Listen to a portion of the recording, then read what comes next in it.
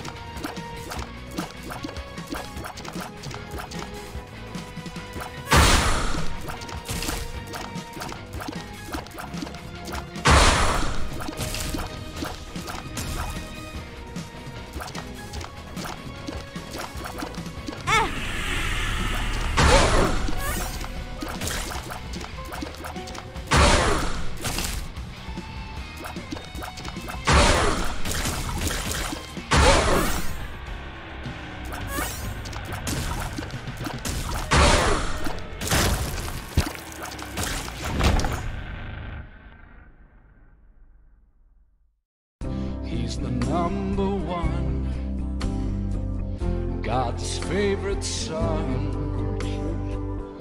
His flowing robes reach down from heaven. His hands will touch you, build the world